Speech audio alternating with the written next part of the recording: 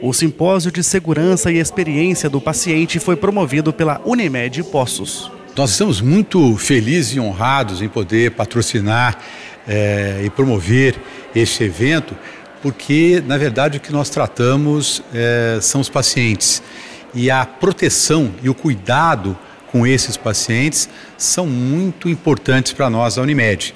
Então, trazer para cá um evento é, direcionado para essa área de segurança do paciente, para nós é muito importante. O evento fez parte da programação da Semana do Paciente. Evento é, importante, grande, com palestrantes internacionais. É, e por quê? Porque o assunto realmente é, é importante. É, é um assunto é, que vem se desenvolvendo, né? É, os protocolos e processos nessa área, eles têm se desenvolvido no decorrer dos anos e têm se aperfeiçoado muito. Dentro do simpósio foram realizadas várias palestras, inclusive algumas internacionais, além de duas mesas redondas. A Elaine foi uma das palestrantes. Hoje eu vou falar um pouquinho sobre a experiência do paciente, né, uh, sobre a importância disso no papel dos profissionais em relação ao cuidado e o que isso traz de benefício para os usuários e também para os colaboradores dessa instituição.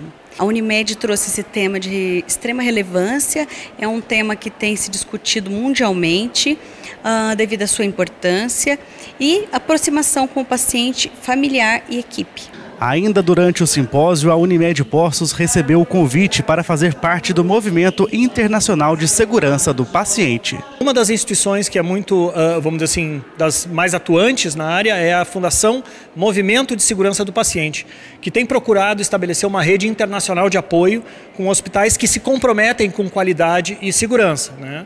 E muito provavelmente teremos um convite diretamente para o hospital da Unimed Postos fazer parte dessa rede e eu imagino que a alta liderança deve uh, aceitar este convite e mais este comprometimento uh, para a sua sociedade. O presidente da Unimed aqui de Postos de Caldas falou sobre a honra de receber esse convite. Uma honra enorme, né? A Unimed Postos de Caldas está eh, em estado de glória porque, salvo engano, somente dois ou três hospitais no Brasil participam desse movimento. Então, para nós fazermos parte disso, é uma honra, é, uma, uh, é a sensação de que estamos realmente no caminho certo e estamos proporcionando o melhor para os nossos pacientes. A segurança do paciente é um assunto que é tratado de forma bem recente aqui no Brasil. E esse gestor em saúde fala sobre a importância desse assunto ser amplamente discutido. Esse evento ele é de extrema importância para o cenário da saúde como um todo, porque o movimento de segurança pelo paciente ele é uma coisa relativamente recente. Né? O primeiro relatório mundial que fala que a indústria da saúde pode ser uma indústria de risco, pode ter problemas para os pacientes e para os colaboradores que lá trabalham, ele data de 1999, ou seja, são só 23 anos de evolução.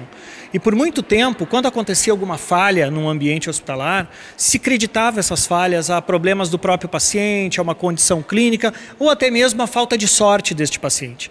E hoje a gente já tem um entendimento de que esses problemas, na sua grande maioria, podem ser evitados através de processos, de protocolos, de checklists. Com imagens de Márcio Pinto, Pedro Magalhães para o plantão.